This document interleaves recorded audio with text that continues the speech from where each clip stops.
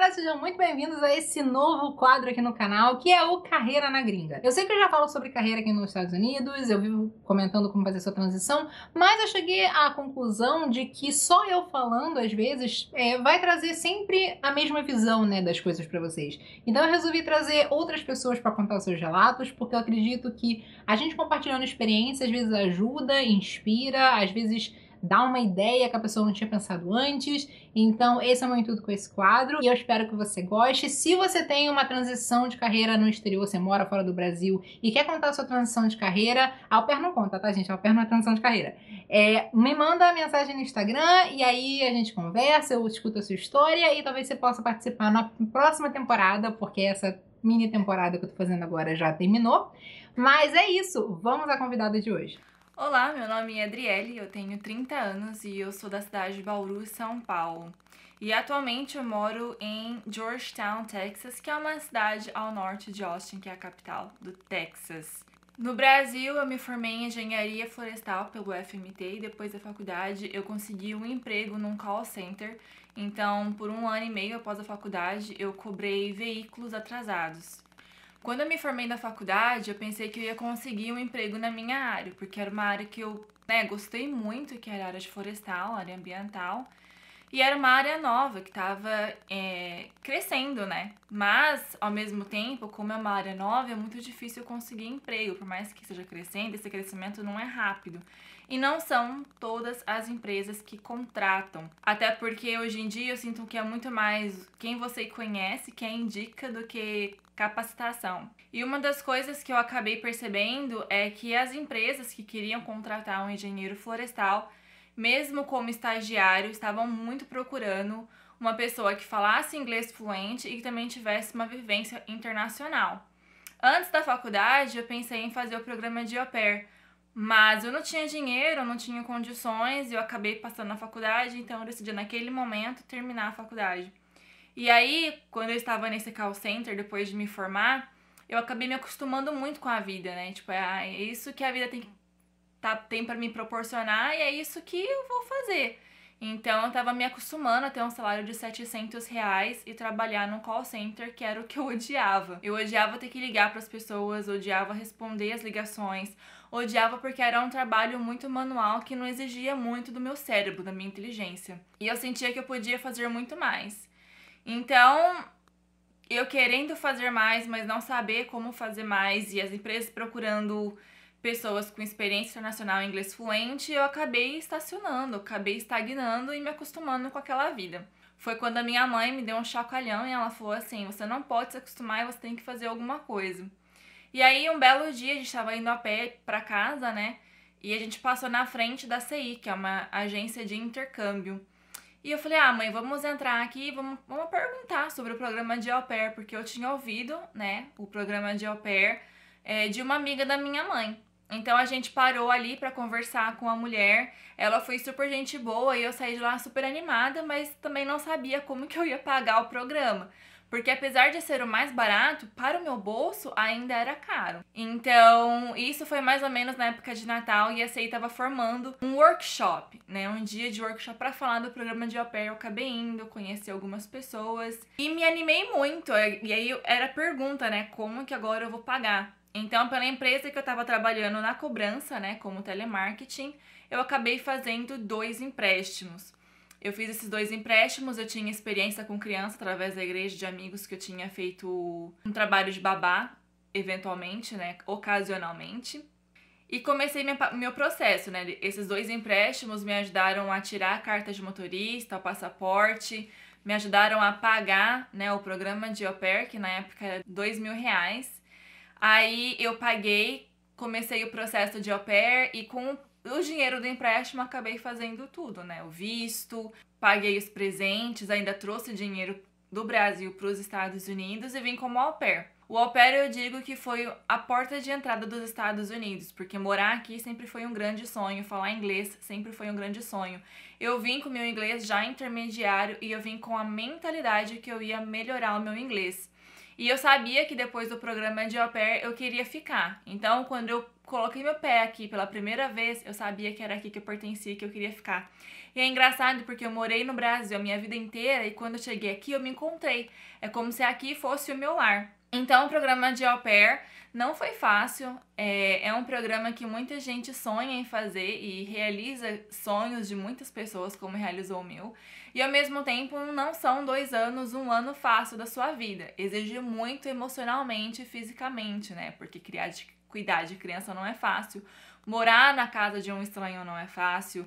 Viver numa cultura diferente não é fácil. Viver longe dos, dos seus pais, né? Dos seus familiares, seus amigos também não é fácil. Então, nesses dois anos, foi assim, emocionalmente, foi o que me deixou muito forte. Eu comecei terapia, né? Eu percebi que eu não tava legal, que eu tinha que tratar algumas coisas internas, então eu comecei terapia. E aí, quando o meu programa foi acabando, eu queria prestar, né? Eu queria conseguir o visto de estudante. Eu tinha formação no Brasil e eu queria fazer algo relacionado aqui ou fazer um MBA na época. Engenheiro florestal no, no Brasil é diferente de um engenheiro florestal nos Estados Unidos. Nos Estados Unidos, as oportunidades em engenharia florestal não são tão amplas, não ganham muito bem. Basicamente, você vira um guardinho florestal. E eu não queria isso, então eu falei, bom, vou prestar aí o visto de estudante, vou fazer um MBA. E para fazer um MBA ou para ter um visto estudante, você tem que fazer o TOEFL, fazer alguns testes, guardar dinheiro, ter sponsor, uma burocracia toda. E minha família é pobre, eu não tinha sponsor, eu não tinha como me bancar estudando aqui. E acabou que meu visto de estudante não deu certo, eu apliquei para o visto de turista. E aí depois do meu programa de au pair, eu encontrei uma outra família para trabalhar de babá, mas daí eu não iria morar com eles, né? Eu morava fora, eu consegui uma casa com outros amigos, então eu tinha roommates e comecei a trabalhar de babá. Como babá, a gente ganha muito mais do que au pair. Então, eu trabalhei para essa família em torno de dois anos. O meu visto de turista deu certo por seis meses, aí quando eu fui renovar, ele foi negado por falta de evidências. E eu falei, e agora, né? Eu volto pro Brasil ou eu aceito que eu vou ficar aqui sem status e eu vou ter que, né, me virar e aguentar o tranco. E aí é todo um medo, né, em volta de ser pego pela polícia, de ser pego pela imigração.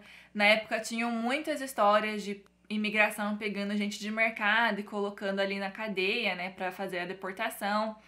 E foi um risco. Então eu orei muito, né? Eu acredito muito em Deus. Eu falei com o meu bispo, falei com a minha mãe, falei com os amigos mais próximos e mais íntimos, e eu senti no coração que eu deveria arriscar. Né? Era o sacrifício que eu tinha que fazer. E eu, né, sabia que para eu um dia ficar legal aqui eu teria que casar. Só que eu nunca tinha namorado, eu nunca tive sorte no amor. E por mais que eu tentasse, meus relacionamentos aqui nos Estados Unidos nunca iam pra frente. Então, eu sabia que casar seria muito difícil. Até cogitei em casar por interesse, né? Pagar uma pessoa para casar comigo, mas aí de novo entra o medo. Porque casar por interesse também é ilegal, é contra a lei. E outra que envolve muito dinheiro, você tem que confiar na pessoa. Tem muito caso de pessoas que sacaneiam outras. Então, eu falei, bom, vou ficar aqui legal e vamos ver onde vai dar. E aí eu acabei ficando aqui sem status por mais ou menos dois anos. E eu tava indo, eu tava indo na igreja, né? Eu decidi tirar esses dois anos para eu aprender muito mais inglês. Então, nos dois anos de au pair eu melhorei muito meu inglês, de intermediário eu fui para avançado e depois de um ano eu já era fluente em inglês, que era o meu objetivo, né? Eu fiz muitos cursos, eu ia na igreja, fazia cursos na igreja, Nesses dois anos eu recebi chamados na minha igreja, onde eu trabalhava com outras pessoas, eu tinha que falar muito inglês, eu fiz muitas amizades. Então, por mais que tivessem sido difíceis os meus dois anos é, de au pair, também foram muito bons. E os dois anos de babá também não foram fáceis. E foram muitos sacrifícios e foram muitas lombadas aí na vida, sabe? Parecia que tinha, horas que o mundo vinha para me derrubar que não era uma ou duas coisas, né? Nesses quatro anos eu fiquei muito doente, eu dependi muito do sistema de saúde aqui dos Estados Unidos, que não é barato. É, eu tive que começar né, a trabalhar emocionalmente com terapeuta, então eu fazia consultas aqui online. E aí eu tava na igreja e um, um, um rapaz, né, ele me viu, ele se interessou por mim. E aí, depois de uns meses, né, eu nem sabia disso, a gente nem conversava tanto, a gente foi desenvolvendo, assim, uma amizade E aí a gente acabou casando, né, no ano passado. Quando a gente casou, um, dois meses depois, entrou a quarentena, né? O vírus aí entrou. E eu sabia que eu não queria ser mais babá, eu tava assim de saco cheio. Quando eu conheci ele, quando a gente acabou se casando, eu tava a ponto de desistir pro Brasil, tipo assim, dane-se, sabe? Que é, que é melhor que o Brasil. Eu não aguento mais ser babá. Eu não aguento mais é, não usar o meu cérebro, ter que passar por, por esse tipo de situação. Até porque eu tinha feito faculdade. Então, no meu ver, né, eu tava fazendo algo que não tava me ajudando em nada profissionalmente, fisicamente, emocionalmente, em nada. Eu tava só me derrubando, sabe? Até porque a família que eu trabalhava era complicada, as crianças eram complicadas. Eram duas crianças e um adolescente. O adolescente tinha muitos problemas emocionais. Então, para mim foi muito forte. Aí quando eu casei, a gente entrou na quarentena, a minha chefe também foi demitida e ela me demitiu. E aí foi quando eu virei pro meu marido, eu falei assim, eu não consigo mais trabalhar de babá, eu não vou mais procurar emprego nessa área porque eu não consigo mais. E eu falei assim, agora o que eu vou fazer, né? A faculdade aqui é caro, eu não queria seguir mais na área florestal. Eu queria, mas não queria, porque é, é uma área que eu gosto, mas ao mesmo tempo eu iria ser um guardinha florestal aqui não era do meu interesse, sabe? Eu gosto de restauração e isso é mais no Brasil, né? Que tem mais desmatamento do que aqui. Então eu falei, e agora o que, que eu vou fazer? E comecei a tirar para todos os lados e eu vi que eu gostava muito de direito. E direito aqui também é caro, então eu falei assim: ah, vou fazer um programa aí de assistente jurídico. Vou fazer uma certificação, que são dois anos de assistente jurídico. E aí eu paguei um programa aqui online, comecei a estudar e tava todo vapor, assim, eu queria terminar o primeiro semestre mais rápido, eu queria terminar esse curso de dois anos o mais rápido. Mas ao mesmo tempo eu queria fazer algo da minha vida e não só depender do meu marido. Falei assim, uma coisa que eu sou muito boa é inglês e eu também sou muito boa em ensinar. Sempre fui. Mas eu não queria ser professora de escola ou de faculdade. Eu não gosto de monotonia. Eu não gosto de ensinar a mesma coisa todo ano, todo mês, todo semestre. Eu não gosto, né, comigo. Mas eu falei assim, eu gosto de inglês. Hoje em dia, né, a gente pode ensinar inglês da onde a gente estiver, se a gente tiver internet um computador. Então, eu vou começar a dar aulas online. E aí, na quarentena, eu é, disponibilizei aulas online gratuitas, né, para eu conseguir aí fazer o meu networking, para eu conseguir mais referências. E até hoje eu ensino de graça.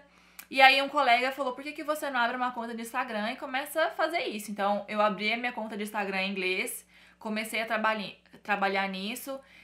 Comecei a trabalhar para uma youtuber famosa no Brasil, né, a Cintia Sabino, como professora. E ali eu vi que eu dava muito certo ensinando e que eu gostava, sabe? O feedback dos alunos me elogiando e também falando o quanto eles estavam aprendendo me davam gás e me deixavam muito animada. Eu falei assim, bom, eu acho que é isso, sabe? Eu acho que é isso que Deus estava me mostrando, que eu tenho que ensinar inglês, que eu sou boa, que é, eu faço a diferença na vida das pessoas e elas podem fazer uma diferença na minha vida.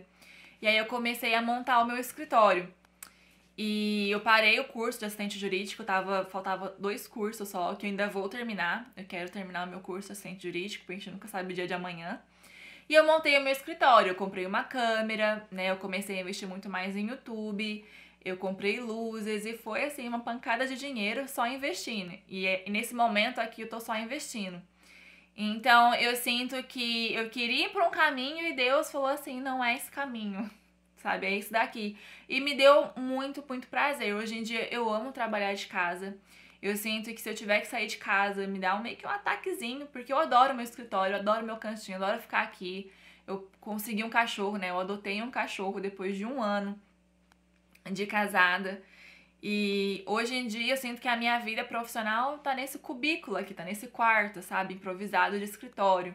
Então, o que me fez mudar de opinião foi justamente as circunstâncias e eu consegui me descobrir, sabe? Eu, eu sempre gostei de câmera, eu tenho um canal de YouTube desde que eu comecei meu programa de au pair.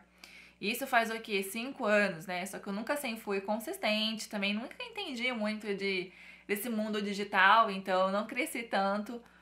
E hoje em dia eu tô apostando muito mais nisso, porque sempre foi um sonho né? Ter esse canal de YouTube, de Instagram, sempre foi um sonho falar inglês fluente, hoje eu falo. E eu acabei que uni o útil ao agradável, né? E para mim hoje receber assim, nossa, Adriele, suas aulas me ajudam.